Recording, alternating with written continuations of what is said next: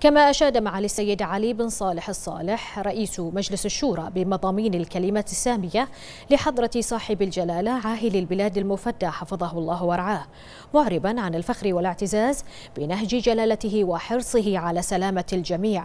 وأكد معالي رئيس مجلس الشورى أن توجيهات جلالة الملك المفدى السديدة والحكيمة انعكست على تميز مملكة البحرين في إدارتها للأزمة الصحية الطارئة التي نمر بها حيث شكلت توجيهات جلالته داعما مهما للحد من التداعيات المترتبة على هذه الجائحة والحفاظ على مستويات النمو الاقتصادي لصالح الوطن والمواطنين. منوها معاليه بجهود الحكومة الموقرة برئاسة صاحب السمو الملكي رئيس الوزراء حفظه الله والمتابعة المستمرة التي يقودها صاحب السمو الملكي ولي العهد نائب القائد الأعلى النائب الأول لرئيس مجلس الوزراء حفظه الله وإداراته المتميزة لفريق البحرين في ظل هذه الظروف.